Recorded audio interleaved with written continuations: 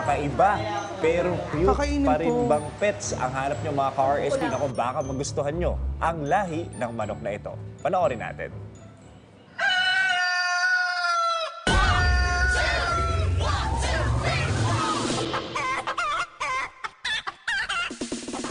Manok sa mga pinakakaraniwang inaalagaang hayop dito sa Pilipinas.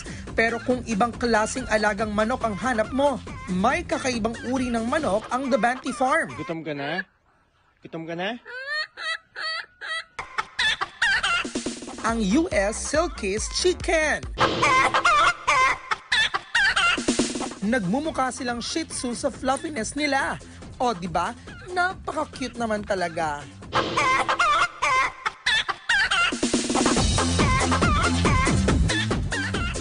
O, di ba mga ka-RSP talaga namang cute na cute silang tingnan. Kaya naman para mas malaman pa natin ang tungkol sa US Silkies Chicken, makakasama natin ngayong umaga si John Behasa, ang pet owner ng mga US Silkies. Good morning, John! Good morning. Good morning po. Hi, Good Jan. morning po. Rise and shine, Pilipinas. John, grabe no, talagang very unique itong mga pets mo. Ano ba yung katangian ng mga US Silkies breed ng chicken na hindi natin nakikita sa mga pangkaraniwang manok dito sa Pilipinas?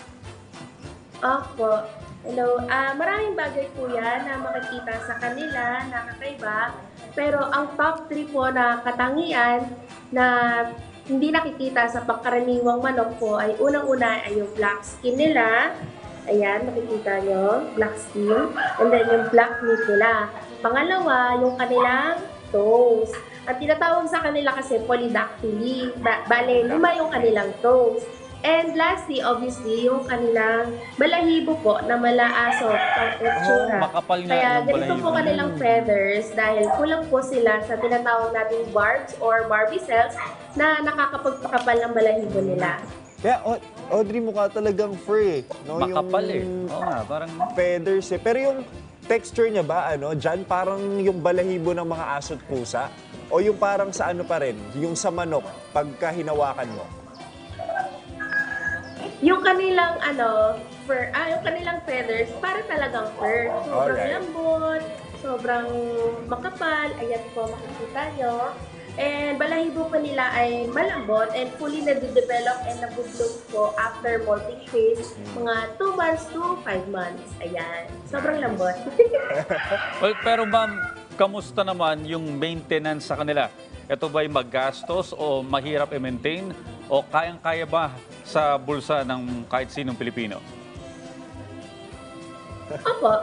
Ah, maintenance nila, super simple lang po talaga. Apat po yan para sa akin. Apat na bagay lang yan. Una, yung housing nila, dapat panatiling malinis and regularly dapat talaga binibisita. And pangalawa po, um, food nila. Pagkain po nila, dapat ah, may handful of feeds para enough Mm. for the day, para anytime kumakain sila. And pangatlo, yung water nila, importante po, dapat ah, malinis araw-araw. Madalas nakakaligtaan natin na mar- may dumi or contaminated po yung inom, painumin nila. Ah, kaya nagkakaroon sila ng bacterial infection or coccidiosis or discoloration of the stool. Tulad ng ah, karaniwang alaga natin na sa bahay, sa pets, Lastly, importante po, dapat may vaccine and may vitamin sila para maiwasan po ang pagkakaroon nila ng sakit or viral infection. Para ka na rin nag-anak, ano, Gab? Oo. Pero ganun pa man, ang napansin ko dyan, sa inyo pong pet, eh, hindi ba sila naiinitan dahil medyo makapal nga yung kanilang feathers at balahibo, no? Lalo na, napakainit ng bansa natin. Kailangan ba naka-aircon yung mga yan? Hindi naman po. As chickens, they do not have sweat glands, di ba po? They release body heat by panting or naghihingalo sila Mm. as they need to adapt the weather dito sa Pinas. Madalas kapag tirik yung araw, nainitan talaga sila. Kaya ito, importante po sa housing nila dapat ah, mataas yung ceiling para hindi sobrang dikit sa kanila yung araw and pwede rin lagyan ng electric fan to combat heat Ah. or dapat din sa lugar nila ah, maraming puno or may silong or may shade. Ayan. So, Hindi ano naman sila eh? sila nainitan. No, Ah, Audrey, medyo high maintenance eh, no? Hindi to, Pa. hindi to pwede sa online sabong. Hindi pwede, hindi Hindi, pwede. Oh, pinalalaban yung mga yan. Ito para kang nagpapaaral na rin ng anak eh. Oo. Pero John, friendly ba yung mga yan? Parang as house pets, pwede ba silang makasa- makisama sa ibang chickens o sa mga pets tulad ng aso o pusa? O recommended na ihiwalay sila ng kanilang ah, tirahan?